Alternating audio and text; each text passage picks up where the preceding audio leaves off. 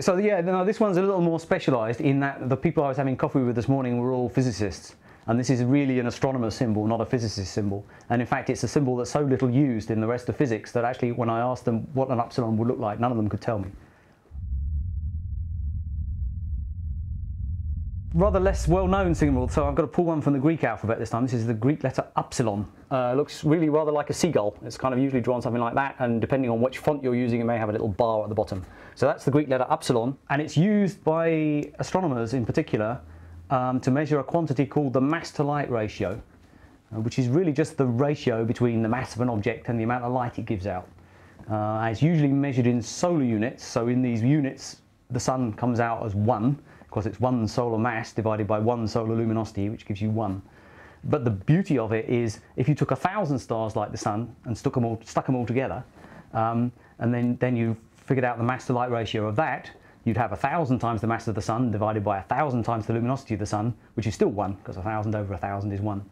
So really measuring the mass to light ratio is telling you what something's made of. If I take a billion stars like the sun and stick them all together to make a galaxy, its mass to light ratio you would still expect to come out as one we, when we first started looking at galaxies, I guess this, this kind of work was first done in the, in the 1970s, in the sort of mid to late 1970s. People start, first started measuring these quantities for galaxies, and they were expecting the answers to come out about one because you know the galaxy is made up of stars pretty much like the sun, and so we expected the answer to come out to be one. Uh, but when we actually went and measured it, that's not what we found. We were getting answers like 10 or 20 or 30, which tells you that there's an awful lot more mass associated with galaxies than just what we were expecting from stars like the sun.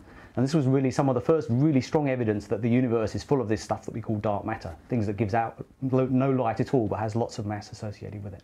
So, Mike, higher, higher numbers indicating some kind of diluting force? Exactly, it tells you there's something else there. There's something else adding to the mass that's not adding to the light. So you add a bigger number in the top, no, no bigger number in the bottom in your fraction mass to light ratio, and so upsilon gets to be very big.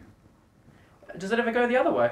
There are so there are some things which have lower mass to light ratio. So, for example, very very massive stars, stars that may be 10 or 20 times as massive as, as the sun, can easily be a thousand or 10,000 times as bright.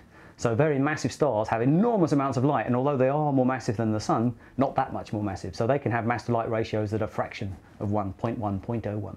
But they're the exception rather than the rule.